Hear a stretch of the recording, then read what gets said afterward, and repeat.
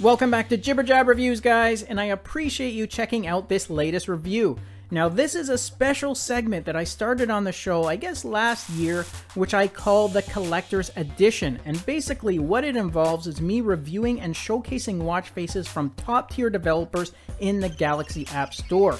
And the watch face that I have for you today is from the very successful and talented developer Matteo Dini. And I spoke to Matteo personally a couple weeks ago and I asked him what his most downloaded watch face in all of 2019 was, and this is the one that I have for you today. And if you know the Matteo Dini collection, then to have this listed as his most downloaded watch face really says something because he literally has dozens and dozens of designs. But this 153 model was his most popular. Now I'm also going to be giving away 20 coupon codes for this watch face, so make sure you leave a comment down below for a chance to win because this would be a great face to add to your collection. Alright, without further ado, let's jump right into the review of the most downloaded watch face in 2019 from Matteo Dini. Okay guys, here we go. As you can see, this is a hybrid watch face as you have the digital time to the right hand side and slotted in between those colorful LCD panels both above and below it.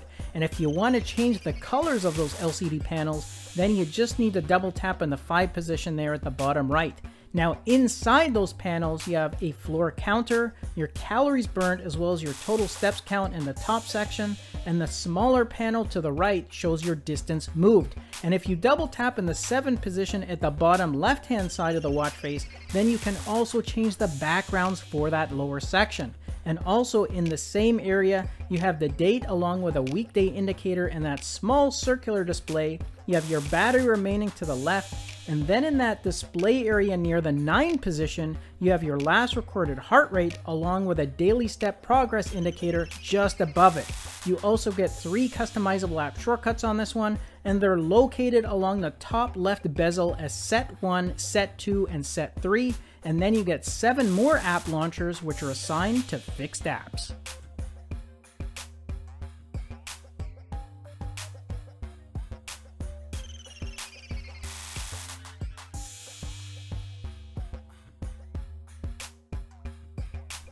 And if you want more information on the watch face that I reviewed today, then simply do a search in the Galaxy App Store under the name of this face. The full details, including the direct link, is included right in the video description. And I'm also going to be giving away free coupons to random and lucky viewers that comment below. I'm going to leave a reply under the winner's comments to let them know exactly how they can get a coupon. As always, good luck to everyone, enjoy the rest of your day, and I'll catch you guys in the next episode.